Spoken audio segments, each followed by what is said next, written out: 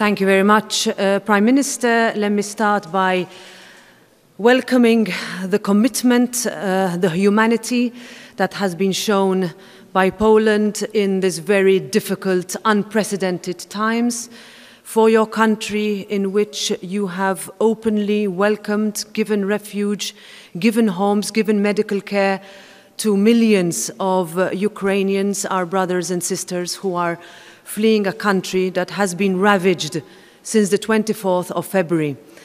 I'm here uh, on my way uh, back uh, to Brussels uh, from Ukraine, where I uh, visited Kiev over the past uh, couple of days.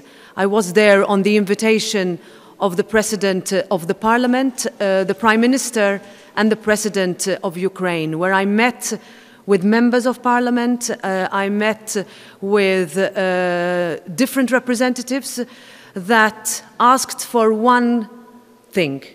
Ukraine urgently needs help.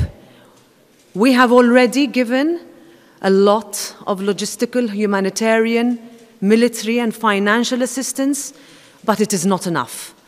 And my message uh, to the Verkhovna Rada and to, the, and to President Zelensky yesterday was that I will take this message here, but I will also take it uh, to our uh, counterparts uh, in different countries and different institutions. Yes, more sanctions are needed.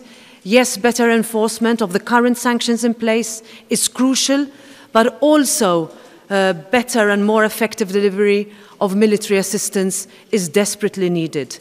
We're also looking at a country that is fighting an invasion that was unprovoked, that is not necessary, that has led to the loss, the pointless loss of thousands of lives, thousands of innocent women, men, and children.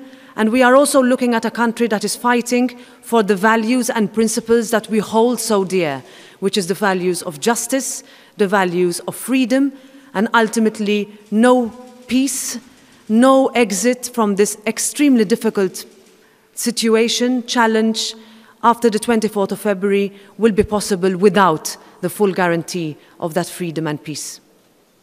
Dziękuję bardzo Pani Przewodnicząca i bardzo proszę o pytania. Mamy czas na dwa pytania. Bardzo proszę pierwszą redakcję.